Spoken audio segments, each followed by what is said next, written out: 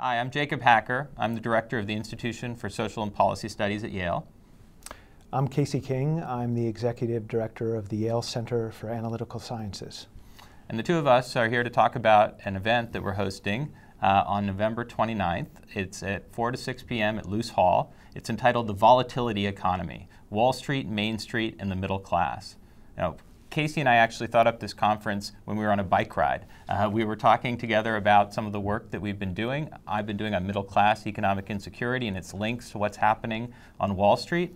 Casey's been doing work on volatility in Wall Street and whether or not some of the controls that the markets have adopted, like these circuit breakers that stop trading when there's big volatility, whether they could do anything to make the, the markets better.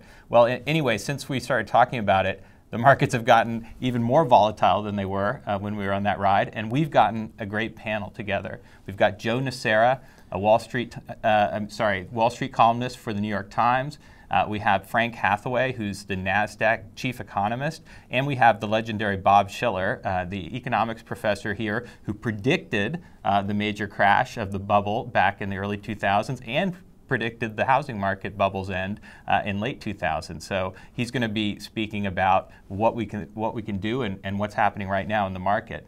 I'm going to be talking a little bit about middle class economic insecurity and its links to what's happening on Wall Street. Um, one of the most interesting things that I've been finding in my work is that even as we've seen the overall economy uh, get less volatile in the 2000s, uh, in the last decade, we saw family incomes get much, much more unstable. Well, in the last few years, we've seen family incomes get more unstable, even more unstable, but the markets go out of control. So, what are the links between family income instability and market instability? Uh, now that most Americans uh, do their retirement savings in the stock market, what does it mean that we see such volatile uh, markets today? And, and how is this tied up with the huge explosion of debt among families? Those are some of the issues I'll be talking about.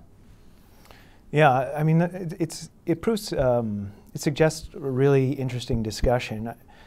For me, a free market. When I think about free market, it's more than just an idea for Americans. It's really uh, fundamental to who we are as a people. But but given the volatility in the markets in the past few years and the debacle of 2008, where millions of jobs were lost and millions of dollars, um, people are looking more and more to government to government to do something uh, to, uh, to, regulate uh, an industry that seems to be careening wildly and uh, somewhat irresponsibly out of control. Um, seems to be driven by this rage of accumulation without any notion of uh, public service. And um, given this imperative, um, one of the questions I'm most fascinated by is what, what exactly should government regulation look like? Can it be just? Uh, can it be effective? Can it mitigate market volatility and, and protect the lives of uh, and incomes and livelihoods of ordinary Americans? Um, and I think this is a, a, fundamental question. How do you how do you reconcile a free market ideology with the current calls for market regulation? And you're going to be looking at the, the volatility that's taking place and whether or not some of the circuit breakers that, that kick in when, when markets get out of whack, whether they can actually help. Yeah, I mean, that was one of the first real uh, substantial government interventions was putting in place these circuit breakers. After May 6th, uh, 2010, when a trillion dollars was lost in a matter of minutes, um, there was a clamoring to do something. And what was done was uh, these circuit breakers were put in. Basically, if the market dropped more than 10% over any five minute period. Trading stopped. Um, but was it enough? And so, what um, my research partner Michael Kane and I did was we looked at 24 billion trades leading up to that flash crash to see if this action were more symbolic than substantive. I mean, with the, with the uh, underlying idea that this policy and any policy that's put in place, any sort of government regulation, must be data driven. It can't just be opinion driven.